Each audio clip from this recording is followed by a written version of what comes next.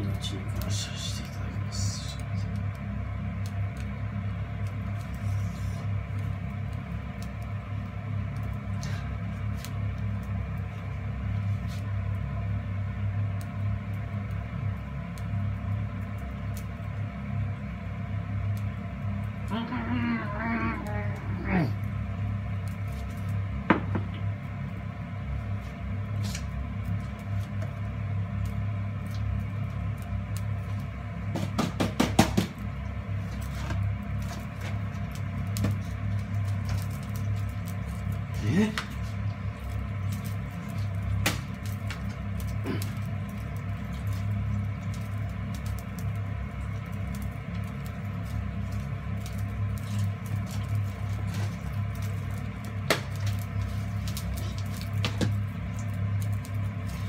なりなりのりが今舞いましたね。空中に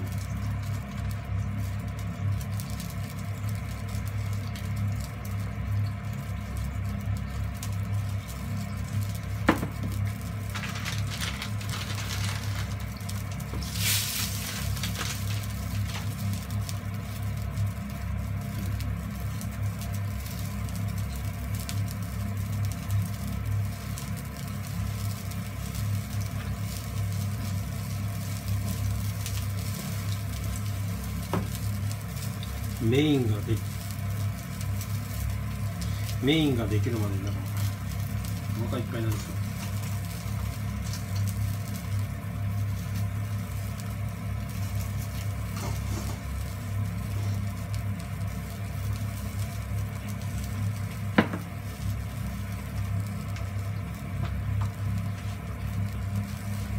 うん今ラーメン作ってるんですけど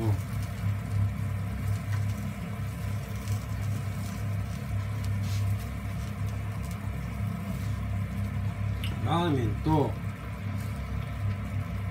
納豆って合わないんですよね。今水耕栽培やってんじゃん。これは成功させなきゃいけない。ハワイで中途半端にやってたから。あ中途半端だったんですよちょっと。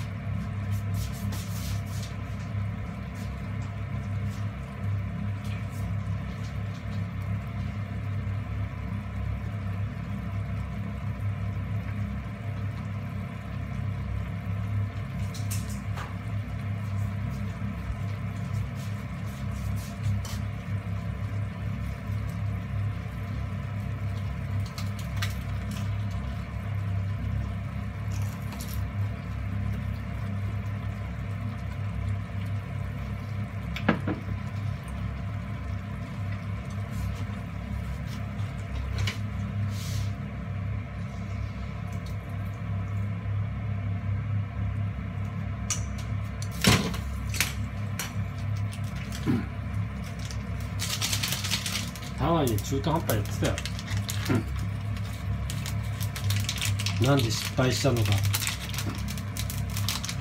なんでしなんでしなんで失敗しなんで失敗したのかっていうとこになんで失敗したのかっていうとこにそういうことを考えず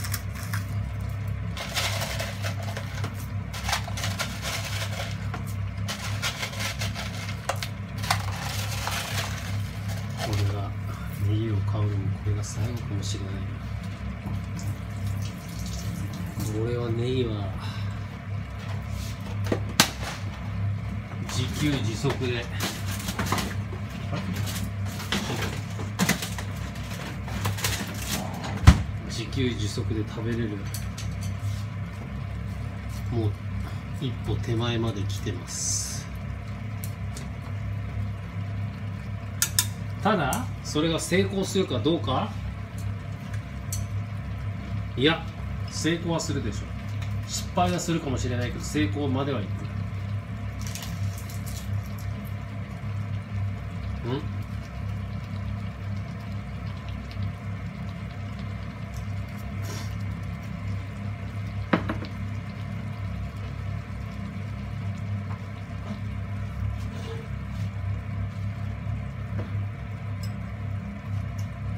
命に感謝し、僕ますし。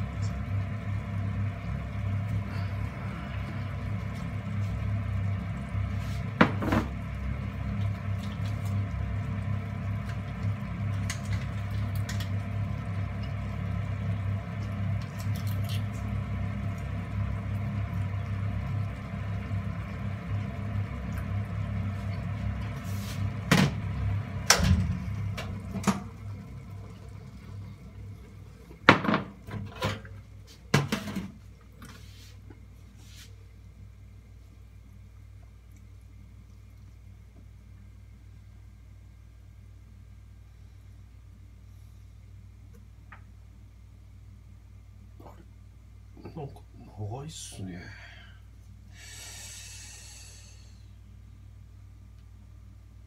長いな。ちょっと待って。長すぎて食べれない。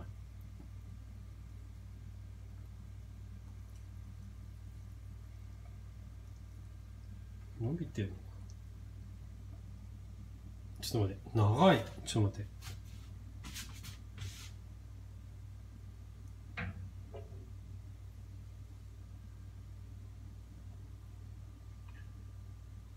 ちょっとこっちにすみました。あまりにも長すぎて。これ想定外です。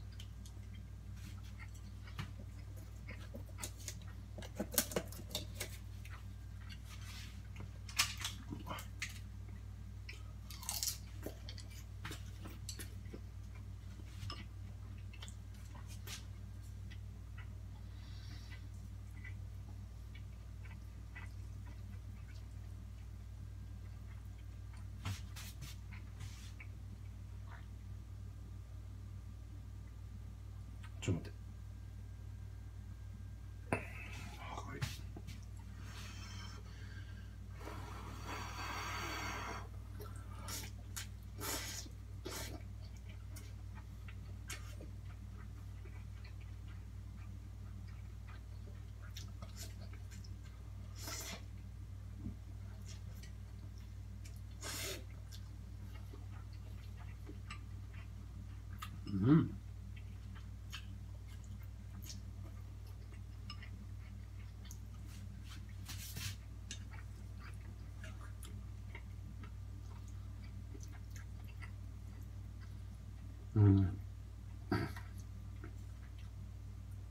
あのね、増設します。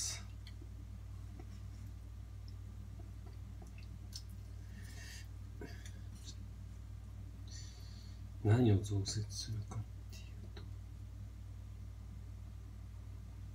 と。あれ？これ伸びてんな、これ。ちょっと待って。あまりにも長すぎて。せん。こんむしろ。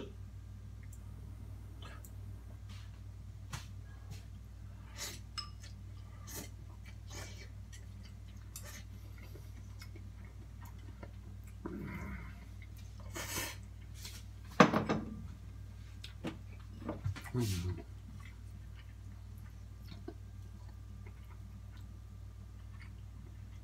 食べた感じは普通なんですけどもともとこの麺がこんな長いのか？いやこれ無理でしょ長すぎて。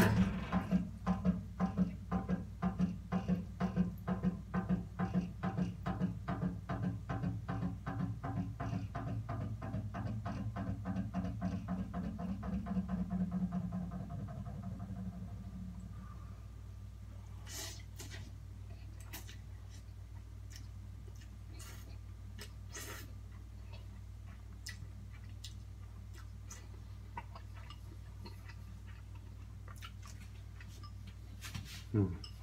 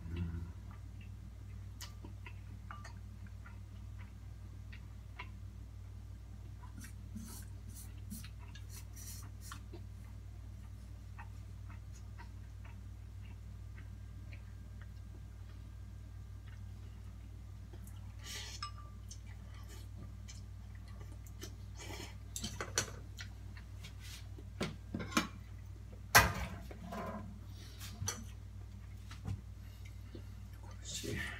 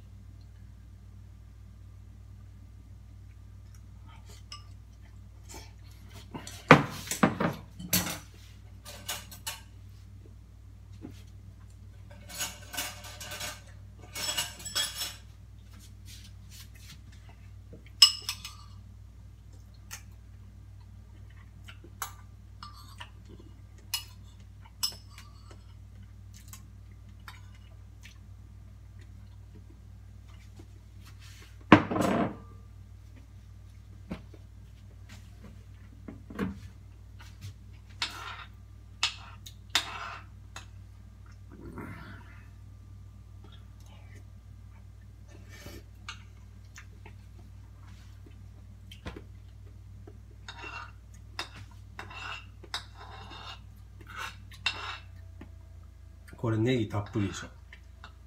かなり入れましたよ。でこれはもちろんあのスーパーで買ったネギで。俺の水耕栽培が成功すればもう二度とネギは買わなくていい。ということはネギを買わなくていいということはネギに包まれてるプラスチックパックも必要ない。バッグじゃないね。プラスチックも必要ではなくなるということですね。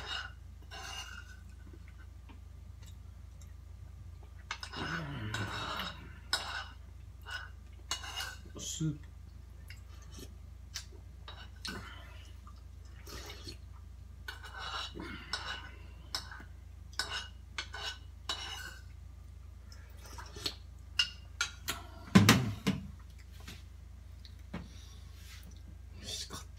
今日の僕の番号でした。で、えー、っと、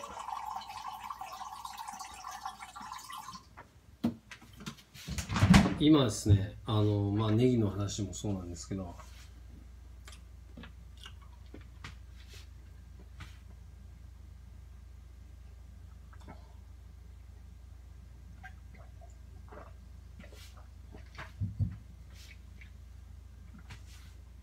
失礼。ごちそうさまでしたネギの話もそうなんですけど、あ、いつもの感じに戻ったでしょ。あのね、苦しい。あの、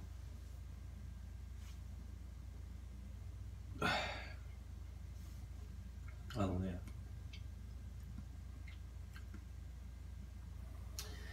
ここで野菜今作ってるんですね。作ってるんですけど、これあの水耕栽培でできるだけ成功させたい。まあ成功させる。成功してえっと野菜はもう全部ここから取れるようにしたいって考えて、まあ、もうものすげえね、まあ、水耕栽培でどれだけ俺はネットでブログを読んだり動画を見たりもう日々見てますよ。書いてることは大体同じなんですけどその人その人によって感じることの違いっていうのはどんな感じなんだろうと思って見てるんですよね。いろんな人たちの。ただあの LED を与え与える時間が何時間なのかとかね。あの水を変える頻度はどれぐらいなんだろうとか。でいろいろ1種類じゃないから6種類あるから6種類で作ってる人いるんだろうかとかその人が水を変える頻度 LED 当てどんな感じなのかいろいろ調べたよね。で、一人、一人が言ってるわ、人、その人が言ってることを信じるのではなく、いろんな意見を聞いて、こう、いろんな意見を聞いて、こう統計を取って、え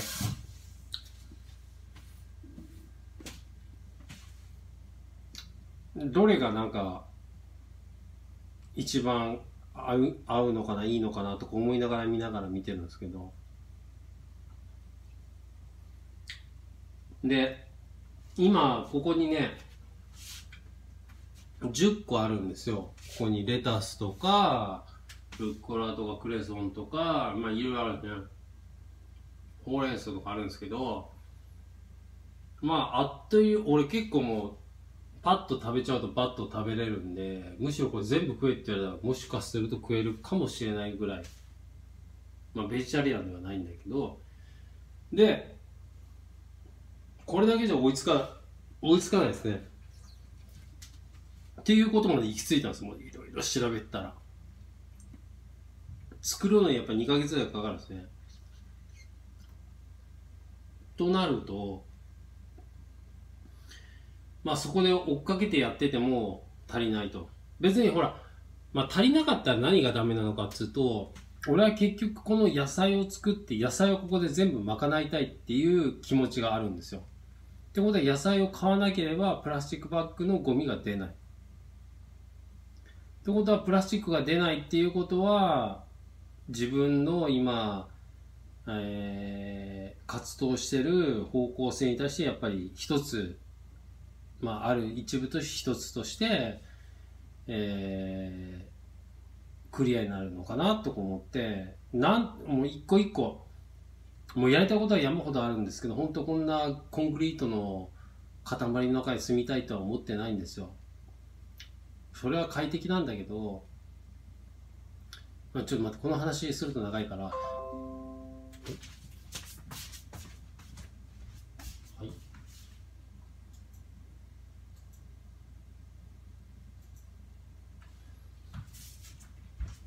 そうそれでねあのー、それでえっとこれじゃ足りない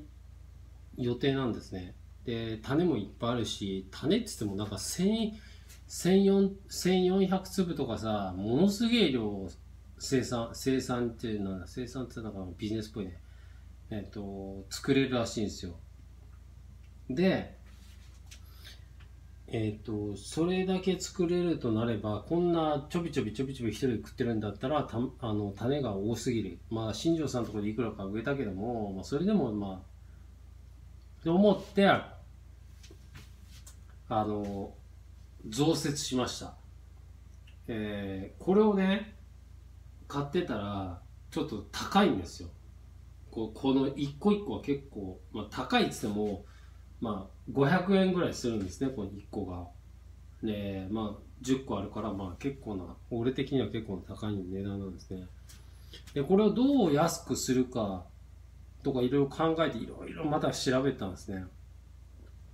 で、ここ増設するにあたって、ここをちょっと段を増やさなきゃいけないのかなんかいろいろ考えて、どれだけコストを安く下げようかとか、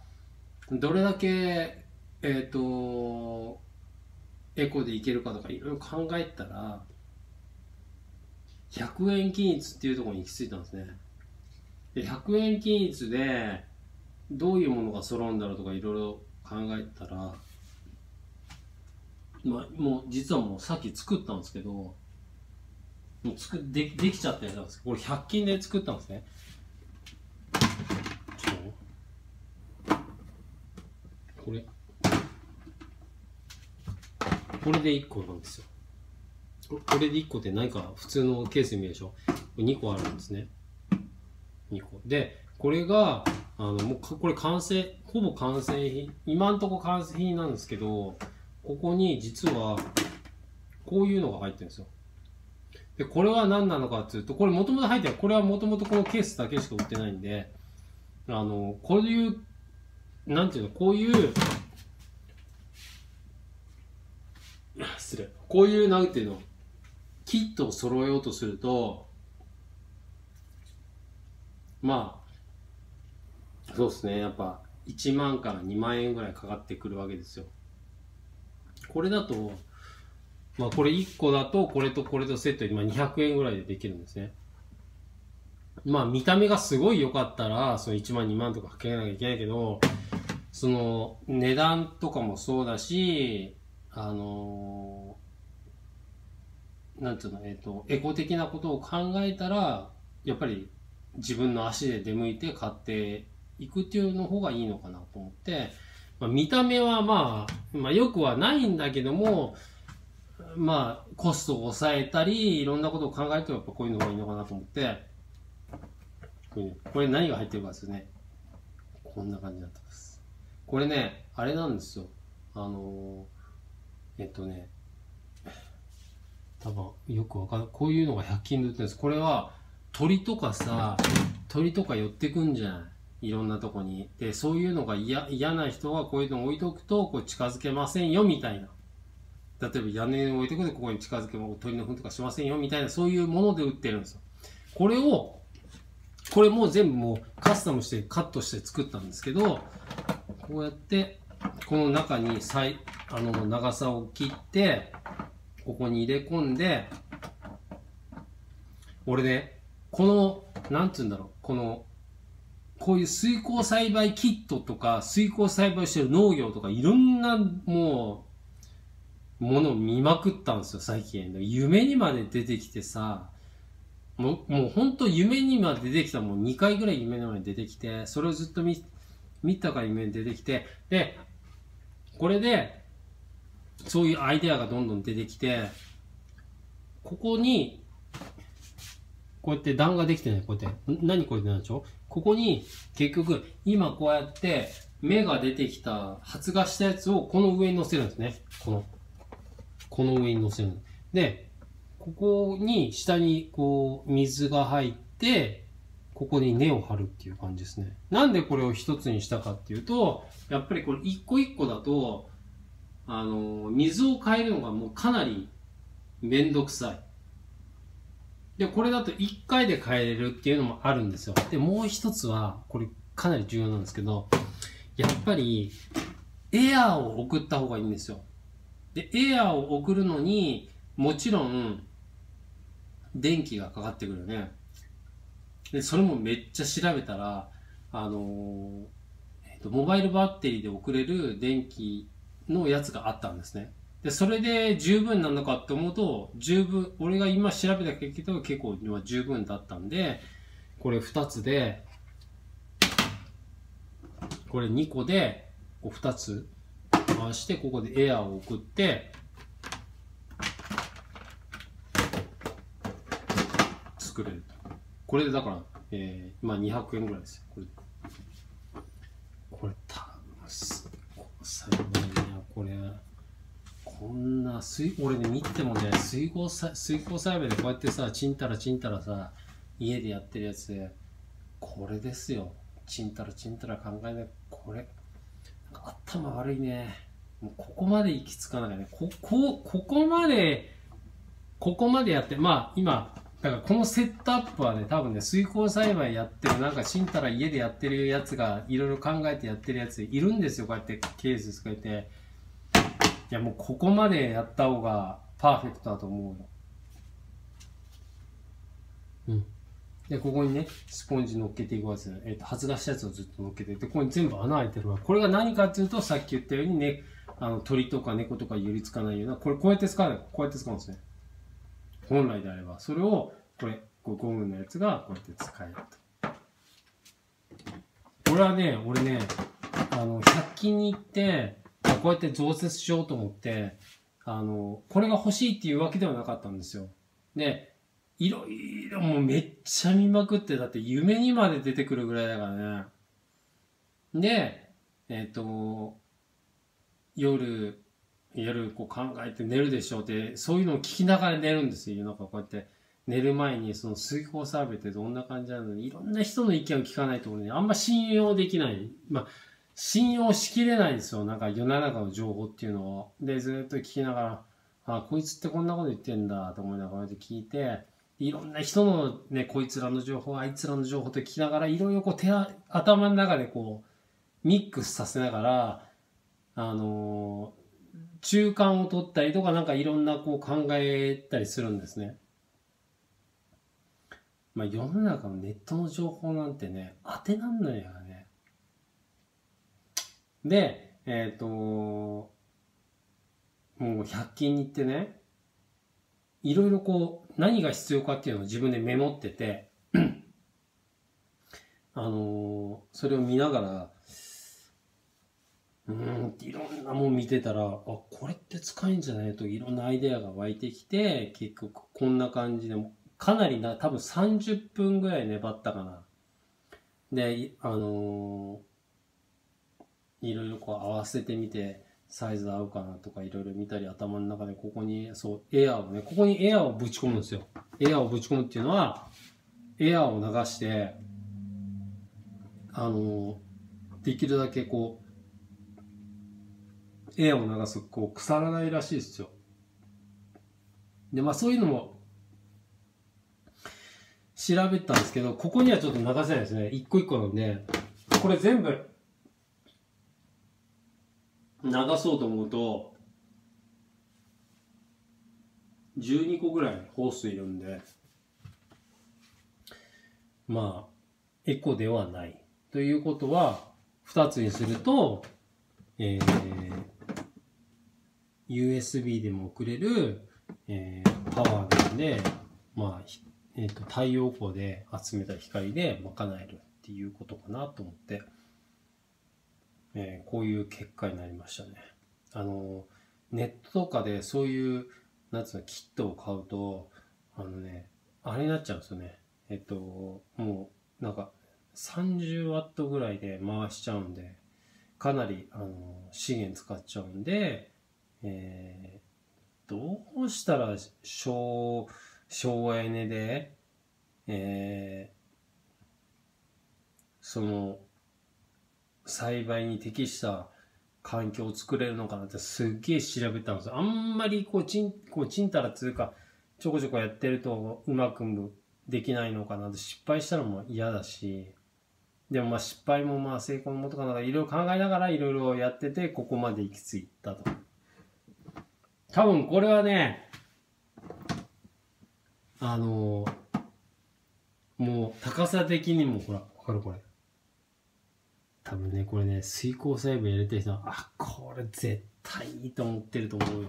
むしろこのね、真ん中の棒とかむしろいらないんだけども、いらないんだけど、まあ、ここ切ってもいいんですけど、切ったらゴミになるし、まあ、なく、まあ、あってもあっても邪魔にはならないからいいのかなと思って。まあ、できるだけ、えー、ゴミを出さないように、えー、日々いろいろ考えてます。今日皆さん楽しい一日、安全な一日、一分一秒大切に残り限られた人生を地球のために使ってください。終わりは突然やってきます。食いすぎた。